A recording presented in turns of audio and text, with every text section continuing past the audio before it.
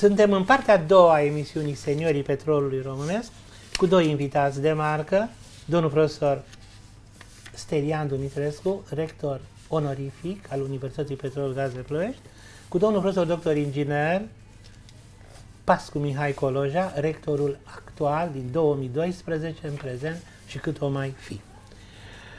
Domnule rector, aș vrea să am navigat, grăbindu-mă încet, uh, apropo de proiectul pe care l-ați, l-ați inițiat, uh, în IPG, IPGG, IP, IPG Ploiești, UPG Ploiești. Suntem la Ploiești. Pentru dumneavoastră, ce înseamnă UPG? Pentru municipiul Ploiești, ce înseamnă UPG? Și pentru viața locuitorilor din această zonă, ce înseamnă UPG? După mine, repet, după mine. După dumneavoastră, după vă rog, da? Universitatea Petrol Gaze din Ploiești înseamnă o mândrie și o onoare pentru acest oraș. Să nu uităm că datorită aceste, și datorită acestei universități, Ploiești este cunoscut pe toate meridianele lumii.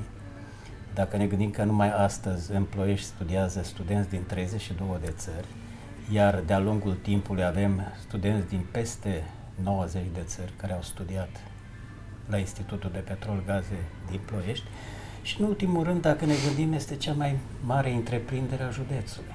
Da? Sunt 600 de salariați, sunt aproape 8.000 de studenți da? care toți își lasă banii în orașul Ploiești, la magazine, la toate. Deci e un venit, zic eu, frumușel pentru orașul Ploiești. Și e o mândrie. E, după mine o mândrie. Chiar toată lumea se mândrește cu PG Ploiești? Am zis după mine, nu știu după dacă, dumneavoastră. dacă ceilalți. Poate unii mai puțin sau deloc. Când am ajuns prima dată la Institutul Petrol Gaze Ploiești, e adevărat convingându-mă domnul profesor Ioan Dumitrescu, nu știam unde e institutul și am întrebat, e autentic ce vă spun, pe un domn de pe stradă. Zic, unde este IPG-ul? Că perseverează, perseverează tinere, perseverează. Și am ajuns la, la IPG. Pentru dumneavoastră aveți, dumneavoastră aveți un răspuns? Da, aș Vă rog. face niște completări, Vă și rog. anume că universitatea noastră constituie un loc de întâlnire a elitelor din domeniul petrolier, constituie o gazdă pentru numeroase manifestări științifice și culturale, uh, constituie locul unde se pregătesc noile generații de specialiști de înaltă calificare, locul în care se potențează abilități latente ale studenților, se formează caractere, se leagă prietenii, se fac proiecte de viitor și alte asemenea obiective. Cel mai valoros produs al universității este, așa cum s-a arătat, îl constituie absolvenții acestei universități. Un alt produs îl constituie vastul material didactic și științific din domeniul lor de competență, uh, care se găsește în foarte multe cărți, în tratate, în reviste, în bibliotecile universității. Și nu numai ale universității, chiar ale lumii unele, ale da? lumii, da. Am văzut la Institutul Francez de Petrol, am văzut în uh, Japonia, iarăși, da? da. Scop, da. Un alt valoros potențial îl constituie colectivul de cadre didactice de la care ai ce învăța și care poate ajuta pe oricine care cere ajutor. Multe din aceste cadre didactice uh, sunt experți și fac parte din comisii de expertize, din comisii de consultanță pentru rezolvarea unor probleme de interes major, atât la nivel local cât și la nivel central sau global. Cu asemenea oameni, universitatea organizează și desfășoară o mulțime de manifestări culturale, artistice, științifice, menite să ridice nivelul de civilizație cetățenească a locuitorilor din zonă, contribuie la ridicarea gradului de civilizație. Ea, această universitate constituie de asemenea o punte de legătură a comunității locale cu celelalte comunități de la nivel național și global, în care se face un schimb de informare și de experiență, colaborări, cooperări internaționale de interes major reciproc avantajos. Eu zic, domnule Ar mai fi de da? spus da? și faptul că o universitate, ca și orice școală cu prestigiu, cultivă o mulțime de obiceiuri, de tradiții frumoase legate de principalele evenimente din viața publică, precum ar fi începutul și sfârșitul de an școlar, terminarea studiilor, uh, care toate se încheie cu manifestări de suflet foarte agreate de, de tineret. Acum Ploieștiul dispune de astfel de universitate care realizează astfel de obiective pe plan local, iar tinerii nu mai sunt nevoiți să plece în alte orașe ca să-și facă studiile universitare, pentru că le pot face aici. Aș vrea să mai adaug eu un element foarte important uh, pe care nu foarte mulți îl cunosc, și anume Universitatea Petrol Gaze Ploiești acordă și titlul de doctor honoris causa. Aș vrea să mă rezum numai la mandatul domnului rector, invitatul meu, domnul profesor Pascu Mihai Coloja, care în timpul mandatului domniei sale s-au uh, făcut, ca să-i explic așa, doctor, rog uh, regia, următorii, Basarab Nicolescu, membru de onoare al Academiei Române, domnul profesor universitar emerit Silviu Neguț, pe prima copertă scrie neobosit explorator al universului planetar și uman, domnului profesor universitar doctor inginer Mircea Stelian Petrescu, membru de onoare al Academiei Române, un prieten al universității, um, care are rădăcini în industria petrolului, nu a vrut să dea până la urmă la petrol. Săptămâna trecută, Universitatea Petrol Gaze din Ploiești, iată, o nouă broșură, un alt doctor, doctor honoris causa, profesor universitar, doctor inginer Ioan Dumitrache, membru corespondent al Academiei Române.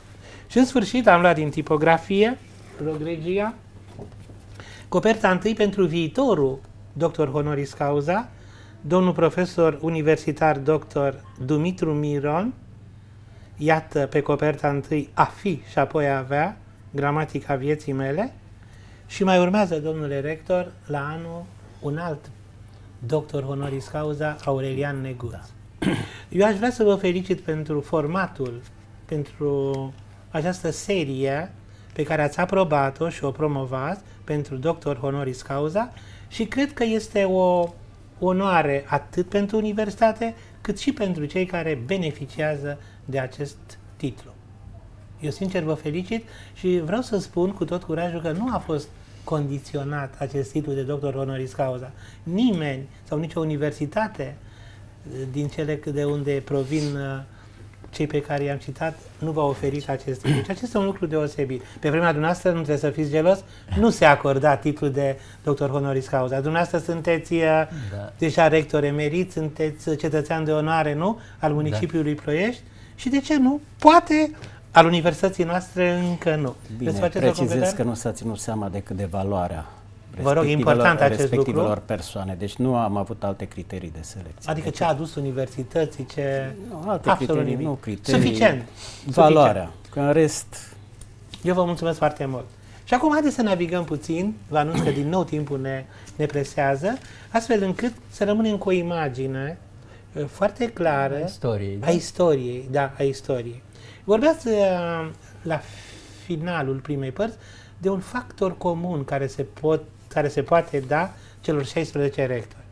Care ar fi? Pe E scurt. Bine, acel factor comun este acela că fiecare rector a preluat de la predecesorul său tot ce a fost mai bun și s-a străduit să adauge noi realizări.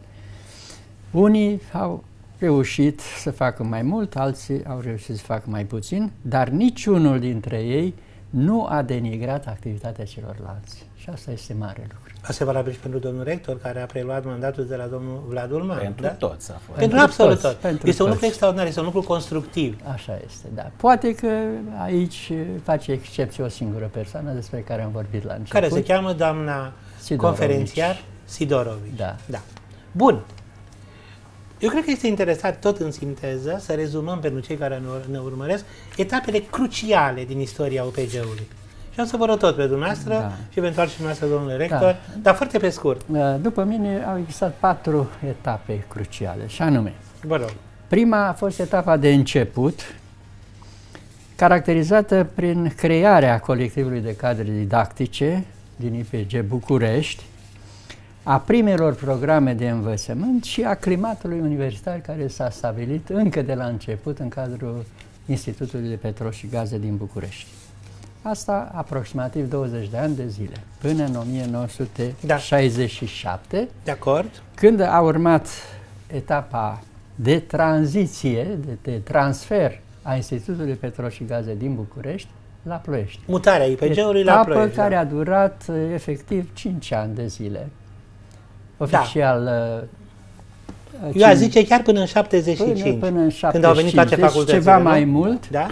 până s-a lichidat uh, uh, Universitatea din București, Institutul de Petrol și Gaze din București. Bun. A treia etapă. A treia Că văd etapă că lucrați este structurat, etapa da? de dezvoltare la Ploiești a Institutului de Petrol și Gaze pe profil unic, petrolier, Da. deci până în 1990, iar după 1990, a patra etapă este etapa de lărgire a profilului de pregătire a Universității din Ploiești, etapa de trecere de la sistemul de guvernare socialist la cel de guvernare capitalist, cu toate implicațiile care provin din această schimbare. Acestea sunt etapele cruciale, după opinia mea.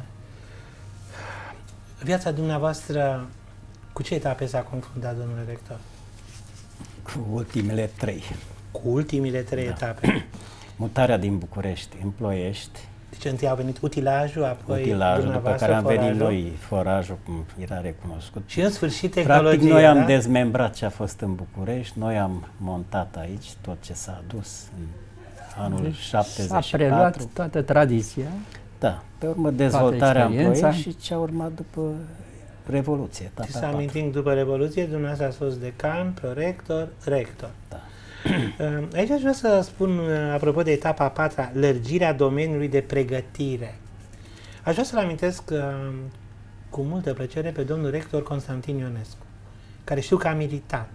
Da. Și dumneavoastră ați militat și alți rectori, domnul Antonescu, domnul Ulmanu, pentru această lărgire. Uh, Sigur, uh, cu plusuri și cu, și cu minusuri.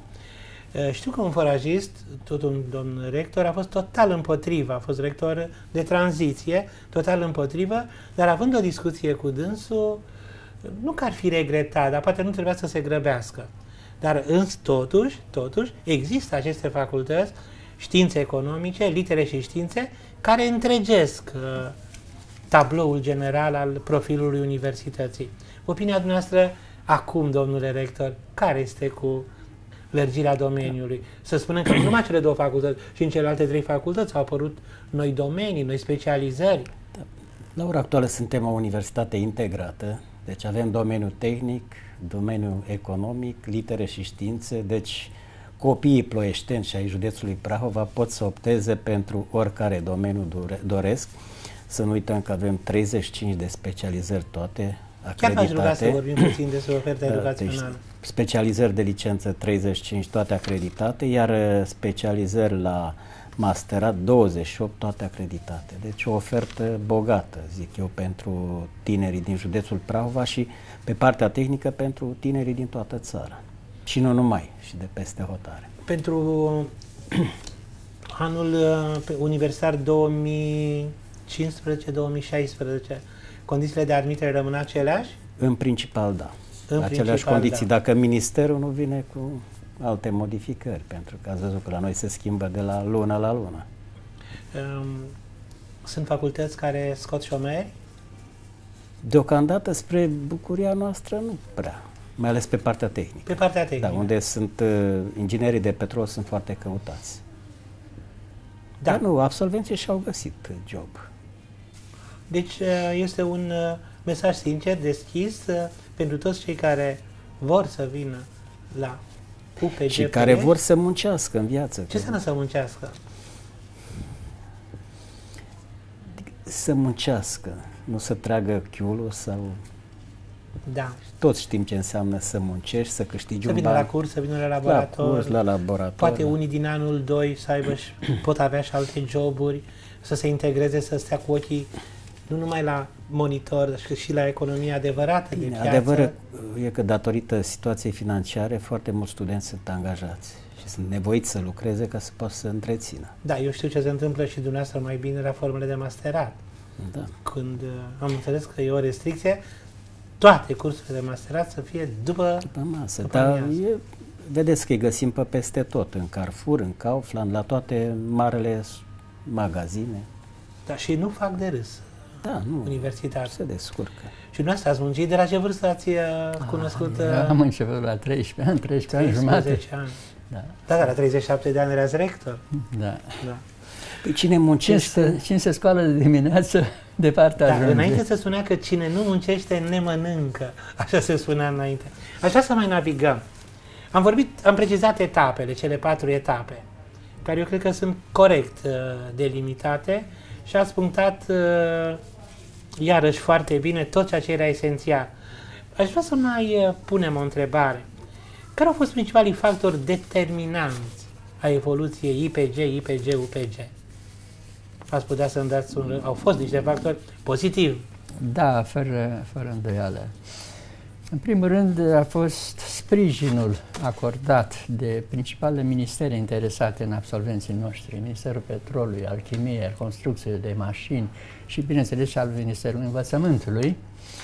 Și, de asemenea, aici la Ploiești au fost toate autoritățile locale care au fost interesate să dezvolte aici la Ploiești o universitate. Ar mai fi de adăugat sprijinul financiar acordat de statul socialist până în 1990. Când Era nu- sigur. Era sigur, adică nu aveam atâtea probleme de rezolvat cum au de rezolvat rectorii actuali.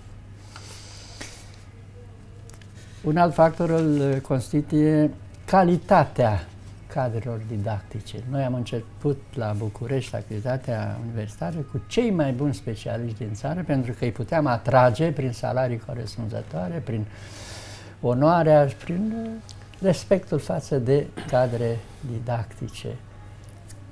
De asemenea, un alt factor a fost acela că toate programele noastre de învățământ au fost foarte strâns legate de necesitățile industriei de petrol și gaze a țării. Ele au fost axate de la bun început și imediat după absolvire, absolvenții noștri puteau să treacă chiar la munci de conducere. Aveam practică în toate marile unități petroliere din țară, cel puțin o lună de zile pe an. Se Mai erau fă- și acele excursii de erau documentare. excursii de documentare de 4-5 zile Da. în fiecare an. Deci era o preocupare Unde a se cunoșteau statului, mult mai a bine statului între care coordona toate studenți. aceste activități și de aceea noi ne-am putut face acest renume, acest brand de specialiști în petrol, nu numai în țară, ci și peste hotare. Dar aceste dificultăți, având uh, un management foarte bun, având uh, cadre didactice deosebite, având și uh, o bază materială în timp, în timp construită, mereu perfecționată, au fost învinse. Da. Domnule rector, profesor dr. Mihai Coloja, noi avem la fel o relație specială, suntem și prieteni. Avem petroliști, dar mai avem petrol. Vă rog și pe dumneavoastră să Da. răspundeți dacă... În 71, când am intrat eu la facultate, ni se spunea că mai avem petrol pentru 30 de ani. Da. De atunci au trecut 44 de ani și, Și tot vedeți mai că avem. petrol tot mai există, să descopere noi zăcăminte și mai ales în domeniul offshore. Așa că deocamdată eu zic să nu ne facem probleme. Nu e Discutam- cazul. Nu ne facem probleme. Discutam cu domnul decan Mihai Minescu, care a fost la Congresul Mondial al Petrolului la Moscova și cei de acolo îi asigurau pe participanți și nu doar atât, că pentru încă 100 de ani mai avem uh, resurse și pot fi exploatate. Pe urmă să ne gândim că noi nu extragem decât 30-32% din zăcământ. Restul rămâne acolo. Așa că vor veni urmașii noștri care vor aplica noi tehnologii mai performante. Așa. Deja știu că există proiecte în acest, Da. uh, în acest sens. Dumneavoastră, domnule profesor, ce părere aveți? Uh, Mi se pare de, ciudată întrebarea? Nu, vai de mine, Vă nu, rog. întrebarea este legitimă. Răspunsul mă interesează, da. Răspunsul este cam același ca și cel dat de domnul rector uh, Coloja, dar uh, eu aș mai spune totuși ceva în plus. Noi totuși nu trebuie să ne cantonăm prea mult timp, prea mult timp pe specificul nostru petrolier. Pentru că treptat, treptat, petrolul va deveni din ce în ce mai puțin, din ce în ce mai scump. Și atunci se pune problema dacă mai este rentabil ca noi să cheltuim atât de mulți bani în acest domeniu. Ideea asta s-a întărit după ce am participat la Congresul Mondial al Petrolului de la Tokyo, unde mari conducători ai companiilor transnaționale petroliere au uh, dat să se înțeleagă că epoca de aur a petrolului este pe cale să apună. Și acești manageri îndemnau companiile petroliere să înceapă de pe atunci să investească sume mari de bani în alte domenii mai profitabile. E bineînțeles că această idee este valabilă și pentru noi. Mai devreme sau mai târziu, noi nu vom mai avea prea mult petrol de extras și atunci se pune problema pentru care domenii vom mai pregăti noi absolvenți. Bun, Trebuie, eu, da, vă ascult, trebuie da. totuși să ne gândim că într-un viitor mai îndepărtat trebuie să ne dezvoltăm capacitățile noastre de formare de specialiști și în alte domenii care vor fi căutate în viitor. Mă refer de pildă la uh, tehnologii, la biotehnologii, la nanotehnologii, la știu eu, Cu aplicații în petrol. cu, cu aplicații în petrol sau Ca să nu chiar- distrugem totuși, Nu, uh, bineînțeles, nu se pune problema că vom distruge, ci uh, să pregătim specialiști și pentru alte domenii care se vor cere în viitor. Uh, Ar fi, de pildă, un alt domeniu, ar fi alte surse de petrol, uh, al- alte surse de energie, altele decât petrolul. Surse, cum se spune acum, uh, cât mai curate, surse verzi. Da. Da? Uh, Bun. Vreau să vă spun politicos că din regie, iarăși, ni se fac semne discrete că nu mai avem foarte mult timp, dar, dar nu vreau să trec peste multe, multe din uh, problemele pe care aș fi vrut să le dezvolt și acum vă propun, este o surpriză pentru dumneavoastră, să analizăm împreună un uh, trei slide-uri cu care am încercat, deci am încercat împreună cu un prieten de-al meu, Zoltan Borsos, de la Universitatea Petrol Gaze Ploiești, să stabilim, să stabilim profilul ideal al unui rector. Am dat și o sursă, deci uh, a fost puțin efort, am păstrat imaginea de pe site-ul uh, nominalizat și am descoperit că și pentru rector pot, execut, pot exista trei categorii. Rectorul constructiv, rectorul pasiv defens, defensiv, rectorul agresiv defensiv. Am uh, solicitat domnilor fost ministru Virgil Petrescu, decan Mihai Minescu, fost ministru Dumitru Miron, de fost decan Dinu Corneliu, fost rector la Petroșan Pop Emil, domnul profesor Siro Boris, domnului rector onorific Stelian Dumitrescu, câteva atribute, câteva caracteristici. Și împreună cu, cu Zoltan, cu Zoli, am uh, realizat o diagramă pe care am să vă prezint, nu înainte, deci nu înainte de a preciza cele 12 caracteristici pentru fiecare tip în parte. Pentru tipul constructiv, atributele rezultate obținute, autodezvoltare, umanist încurajator, am păstrat terminologia, și afiliere, facilitatea de a realiza anumite asocieri, Conexiuni. conexiuni. Tipul agresiv-defensiv, opoziție, putere, competitiv, perfecționist. Și în sfârșit tipul pasiv-defensiv, aprobator, convențional, dependent, evitare. Și a rezultat această diagramă. N-am să vă întreb, nu din politețe, dar uh, cu altă ocazie, în ce categorie v-ați, uh, v-ați regăsi apropo de tipul constructiv, agresiv, defensiv. Această imagine este deja afișată. Avem aici pentru tot ce este verde, adică pasiv-defensiv, cele patru atribute, se văd în imagine, aprobator convențional dependent evitare, cu roșu agresiv-defensiv, de la A1 la 4, opoziție, putere, competitiv, perfecționist. Și în sfârșit, în sfârșit, cu albastru, tipul constructiv, generos, cu atributele C1, C2, C3, C4, respectiv rezultate, autodezvoltare, umanist, încurajator, afiliere. Nu avem pretenția că acest portret va servi în alege. Nu avem pretenția că este un, un, o profilogramă perfectă. Există mai mult ca perfectă, dar am vrut totuși să arăt că există preocupări și în lume de a crea un profil, să zicem, al rectorului ideal. Aici aș vrea un scurt comentariu, dacă puteți, dacă nu, încercăm să facem uh, finalul emisiunii. Domnul rector, aveți un comentariu? Despre cele trei... Da, cele trei categorii, da. Nu vă întreb în ce categorie v-ați că nu, nu... Nici n-ar fi normal să... Exact. Ca noi da, să ne auto Exact, Știți da. că aveam un coleg, un prieten comun, care zicea după scara mea de valori, deci după scara Da, mea da. de valori, eu sunt pe primul loc. Așa că nu e cazul. Am Alții înțeles. trebuie să ne Am înțeles. Alții spună trebuie ce- să ne Este un caracterizeze, început, am să vă da. dau uh, aceste Da. slide-uri. Dumneavoastră, domnule profesor? Nu, n-am uh, de comentat. Nici. Da? Dar nici nu dezaprobați Dar totuși, nici da? nu dezaprobă astfel de, de inițiativă.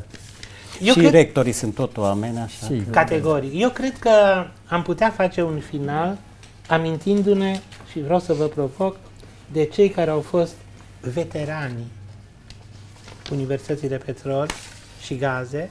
Noi suntem urmași de veterani, da? Da, așa este. Și iată, am aici un slide cu acești veterani, nume cunoscute și dacă vreți câteva remarci ar fi binevenite. Le aveți afișate acolo pe ecran. Dumneavoastră, domnule profesor, în cartea pe care eu am, uh, nu că o știu pe din afară, adică numai coperta întâi și coperta a patra, am uh, studiat-o foarte atent, Universitatea Petrol Gaze Ploiești, confesiunile unui rector. Sincer, vă felicit, pentru mine a fost Mulțumesc. uh, de bază. Au mai fost și alte cărți cu greșeli, n-aș vrea să fiu critic. Vă felicit, am găsit un lucru important. Trei generații. Așa Mai este. știam de la Lucia Demetrius că ea a scris trei generații, dar nu știam că și dumneavoastră aveți trei generații. Iată, avem o primă generație, da? Da. A doua generație din care faceți dumneavoastră parte, a treia generație ca rector în care faceți parte dumneavoastră și domnul Vlad Ulmanu. Așa, așa a categorisit. Din a doua generație fac parte mai mult, domnul Da. Antonescu, domnul Titi Ionescu și alții. Vă rog, despre veterani. Păi, sunt, după părerea mea, cei mai importanți, pentru că ei, ei ne-au creat pe noi. Da? Ei au fost cei care au inițiat toate aceste programe de învățământ, tot ce s-a putut face la vremea lor, ca noi să ne mândrim astăzi cu specialiști în acest domeniu. Un nume puteți să ne dați? Uh, Un nume. uh, nume. De veteran. A, sunt multe, sunt Unu. multe. Un nume de veteran, da? Eu am să iau, uitați acest slide, foarte frumos. Um, Constantin Beca, Horia Bornărescu, Mihai Bogdan, Constantin Toți Crean, sunt etc. Da? veterani. Toți Cred sunt că e greu de veterani. ales. Sunt veterani. Foarte greu de ales, peste 20 și greu ceva, de- da? Greu de ales. Dar apropo de asta, oare și alții care vin după noi vor putea vorbi despre veterani? Sigur că da. Pot și ei să- să vorbească, dacă nu de veteran, de înaintași. Înaintaș, am înțeles. Eu vă mulțumesc. Domnule rector uh, Mihai Coloja, vreau să apreciez în mod deosebit uh, proiectul dumneavoastră. A dumneavoastră a fost ideea, rectorii IPG, IPGG, am învățat și eu exact de unde provin aceste acronime, IP, IPG, Universitatea Ploiești, UPG Ploiești și cât o mai fi ea. Uh, Vreau să mulțumesc pentru sprijin, ajutându-mă să aduc în platou studioului din Valea Prahovei, tot aici este locul dumneavoastră, pe cei mai reprezentativi. Mulțumesc și pentru acest final și aveți ultimul cuvânt, dumneavoastră și dumneavoastră. Deci, în primul rând, despre veterani, numai cuvinte de laudă și de mulțumire. Dacă exist, există brandul UPG, se datorează acestor veterani. Și noi avem obligația, dacă nu putem, măcar să mai creștem un pic, măcar să păstrăm ce avem, să ducem mai departe. Poate deci, numele, datorită acestor de poate veterani... numele unor laboratoare, poate numele unor anfiteatre. Știu că sunteți un, uh, un director care construiește, nu care distruge, la fel ca și domnul profesor Stăilan Dumitrescu, ar putea fi completate și cu o parte din numele veteranilor. Pentru că sunt și urmași de înaintași. Da, sunt atâtea laboratoare în școală care poartă da. numele acestor înaintași, care poartă numele unor societăți care ne ajută, ne sprijină. Și, și este partea economică, Ultimul da? care l-am da? inaugurat în octombrie este Anfiteatru Compet. Deci care, Compet este IP3, da? IP3. Când intră în terminologia IP3, noastră, fostul IP3, Compet, Compet. Care da, compet. și studenții când intră rămân pe retină cu, cu acest titlu care este și sonor. Modern, frumos. Da. da. Domnul profesor, dumneavoastră?